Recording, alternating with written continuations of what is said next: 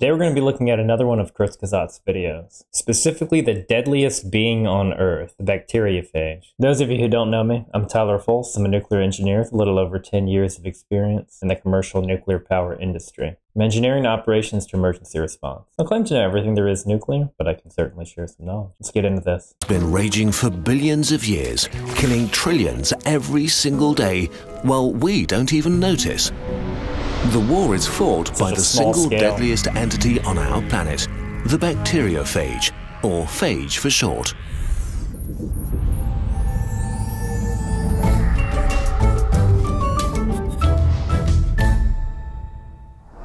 A phage is a virus, not quite alive, not quite dead. Also, they look as if someone made them up. Their head is an icosahedron, a sort of dice with 20 faces and 30 edges. Interesting. It contains the genetic material of the virus and often sits on a long tail that has leg-like fibers.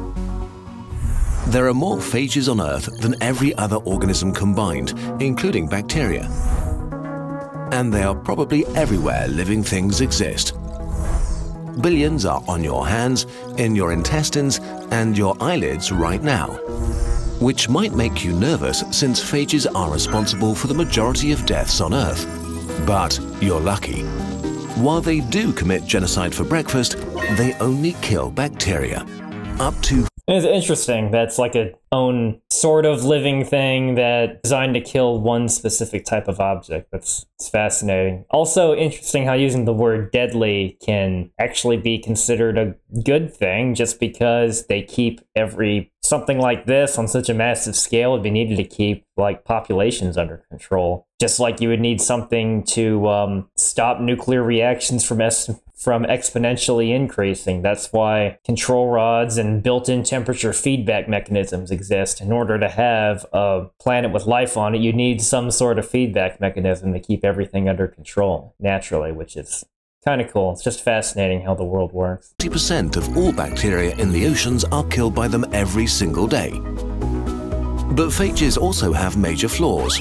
Like any other virus, phages need a host to survive and reproduce. They're not much more than genetic material in a hull, and they That's- specialize. Usually, a phage has chosen one specific bacteria and maybe some of its very close relatives. These are its prey. Imagine a phage as like a cruise missile that only hunts and kills members of one very unlucky family. When a phage finds its victim, it connects its tail fibers with receptors and uses a sort of syringe to puncture the surface. Wow. In a weird motion, the phage squeezes its tail and injects its genetic information. Within minutes, the bacteria is taken over. It's now forced to manufacture all the parts of new phages. They only stop when the bacteria is filled up with brand new phages. In the final step, they I mean, the way I see it, it's very similar to like certain processes, say, within a nuclear power plant. Like neutrons only fission certain types of targets, such as uranium 235 and plutonium 239. But they'll either get absorbed, but they can also get absorbed by something else in the case of boron 10, or just pass through as if some other element wasn't even there. So, this sort of selective, it's interesting to see a crossover between this sort of selective targeting. endolysin, a powerful enzyme that punches a hole in the bacteria. The pressure is so high that the bacteria sort of vomits out all of its insides and dies. New phages Gruesome, are released happens all the and begin the cycle anew. In the last few years, bacteriophages have enjoyed the attention of the second deadliest beings on Earth, humans. Recently, we've started Second looking deadliest. into injecting millions of them into our bodies because we're sort of getting desperate. We screwed up. In the past, a single cut or a sip from the wrong puddle could kill you. Bacteria were our phages, tiny monsters that hmm. hunted us mercilessly. But then, about 100 years ago, we found a solution in nature. By accident, we found fungi that produced a compound that killed bacteria, antibiotics. Suddenly, we had a powerful superweapon. Antibiotics were so effective that we stopped thinking of bacteria as monsters. Only the old and weakest among us were killed by them. We That was a bit of a mood whiplash, but yeah, it's Just like we thought radiation was some monstrous force, now we know how to harness it for good to produce clean, sustainable, safe electricity. But or you could even take this back to fire. It could be scary and burn down entire forests, or you could learn to harness it. That's just the way humans are with everything. It's it's really cool. Antibiotics more and more for less and less serious causes. We lost respect for the monsters and the weapon. But bacteria are living things that evolve, and one by one, they started to become immune against our weapons. This continued until we had created what are called superbugs, bacteria immune to almost everything we have. Uh, yeah, this is from antibiotics. It has nothing to do with nuclear mutations. oh, that's funny though. This immunity is spreading across the world as we speak. By 2050, superbugs could kill more humans a year than cancer. The days when a cut or bladder infection. Now, part of that is you know, cancer death rates are going down too. So just just keep that in mind when you look at statistics and extrapolations like that can often be way off. I wonder if we'll have commercial nuclear fusion by 2050. It always seems to be 20 years away, and that's more than 20 years, but we'll see. Cough could kill you or your loved ones are coming back. In the US alone, No, more than 23,000 people die from resistant bacteria each year. But it turns out that phages, our tiny killer virus robots, could save us. We can inject them into our bodies to help cure infections. Hold on, how can injecting millions of viruses into an infection be a good idea?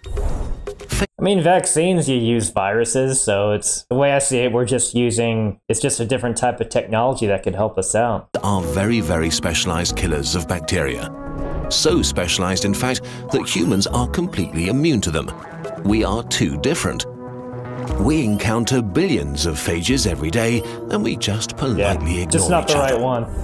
Antibiotics are like carpet bombing, killing everything, even the good bacteria in our intestines that we don't want to harm.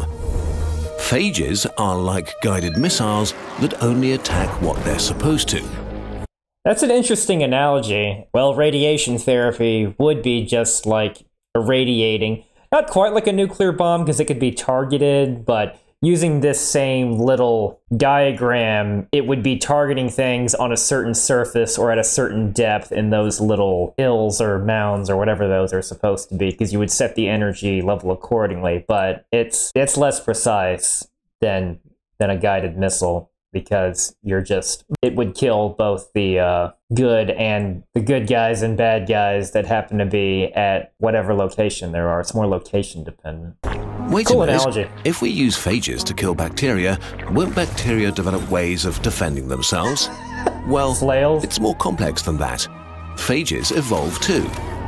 There has been an arms race between What? them This and bacteria hilarious. for billions of years, and so far they're doing great. This makes Wilhelm phages smart weapons that are constantly getting better at This this is killing. awesome. But even if bacteria were to become immune against our phage, we still might be able to win. It turns out that in order to become resistant to even just a few species of phages, bacteria have to give up their resistance to antibiotics. Use both. We might be able to trap them in a catch-22. This has already been successfully tested with a patient who had no other hope left. The bacteria Pseudomonas aeruginosa, one of the most feared bacteria, infected the man's chest cavity. They are naturally resistant to most antibiotics and can even survive in alcoholic hand gel. After Well, I think we found that 0.1 or 0.01 percent that you wouldn't that you see on those hand sanitizers that say 99.9 or was it 99.99 percent? of suffering, a few thousand phages were directly inserted into his chest cavity together with antibiotics the bacteria were immune to. After a few weeks, the infections had completely disappeared. That's awesome when one of those experimental trial things actually works because it really just shows hope of finding something better. It's amazing. Unfortunately, this treatment is still experimental, and pharma companies are still reluctant to invest the necessary billions in a treatment that has no official approval yet. Hmm. But things are finally changing. Well, post COVID, in a world of emergency authorizations and fast track approvals, I think that sort of barrier can be removed more quickly without compromising safety, of course, but it's just, it's been greased with the ability to uh, develop vaccines at, that are presumably developing other technologies. It would at least know know the process well enough. Not to say that they would, you know, shortcut any safety elements, but they would know the process of getting through these things more quickly thanks to experience they have with COVID. I know I've seen that working with regulators at the past that they just get better at some of their processes if you essentially reach economies of scale for lack of a better word in terms of going through approvals. Nuclear industry is one of the most heavily regulated in the world, actually even more even more so than healthcare arguably. 2016 the largest phage clinical trial to then again, some of it, some of healthcare stuff is nuclear, so there's a bit of crossover. Began, and phages are getting more and more attention. And we better get used to it because the era in which antibiotics have been our superweapon is drawing to a close. It might be a weird concept, but injecting the deadliest being on planet Earth directly into our bodies could save millions of lives. The way I see it, it's no different than saying, than people fearing nuclear and how much good it provides for the world now in terms of uh, safe, reliable, sustainable energy. Also, deadly does not mean deadly to humans necessarily. Thank you very much for watching. I'll see you next time.